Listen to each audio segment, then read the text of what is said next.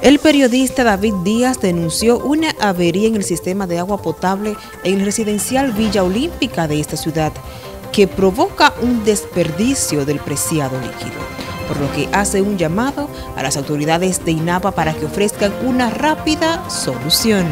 Mira, lo que está pasando en el residencial Villa Olímpica, segunda etapa, en la avenida Paseo de los Periodistas, esquina 3, es que hay una fuga de agua enorme, fruto del perfecto de una válvula.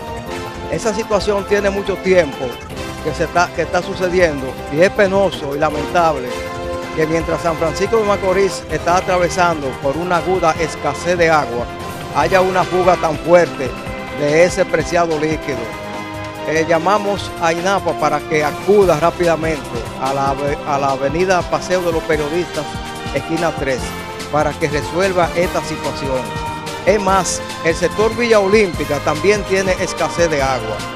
Y esto suele suceder cuando llega el líquido. O sea que es una situación lamentable y ojalá que INAPA pueda corregirla rápidamente. Joanny Cordero, NTN, su noticiero regional.